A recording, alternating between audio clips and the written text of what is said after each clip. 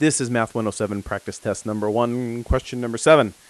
And we're supposed to construct a truth table for this argument. So um, notice it says P and Q implies not P or not Q.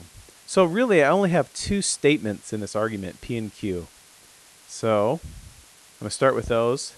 And remember, um, for truth tables, what I want to do is list all of the possibilities true, true, false, false. All the all the um, combinations that I could possibly have of true and false statements for P and Q, and I kind of have this the system that helps me keep easy track.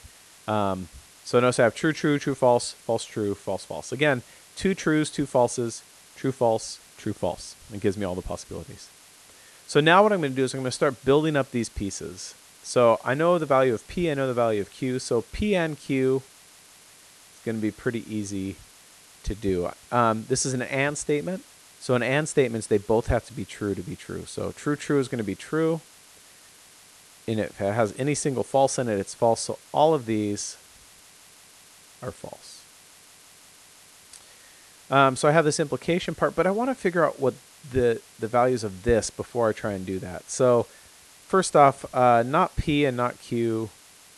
I'm going to get those pieces going.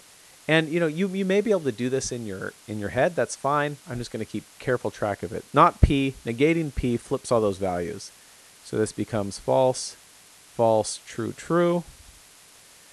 Not q negates all those values, so this becomes false, true, false, true, false, true. And now if I wanted to, I could make another um, thing here. I think I'll just do it.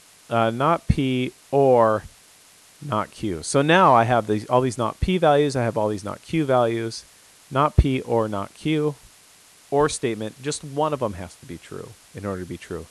The only time this is false is when they're both false. So not p, false, false, both false here, true because it's an or, true because it's an or, true because it's an or. So now notice what I have. I, I basically have both of these both of these pieces. This this P and Q is right here. This um, not P or not Q is right here. So what I can do now is I can compare these two columns using that implication. So now this is actually going to be the value of this, not P or not Q. And again, what I'm doing is, is this part, sorry, uh, this is this part. This is this part. This implies that. So let's see what values we can get for that.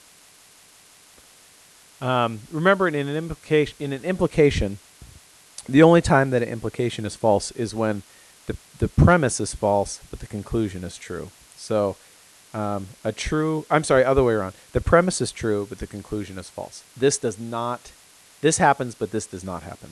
So, and that's this first case. True implies false. That is false. False. And, and then if, if my premise is false, doesn't matter. It's, it's always going to be true because it didn't have a chance to be disproven. So all of these are true. False, true, true, true. There's my truth table. There's my values.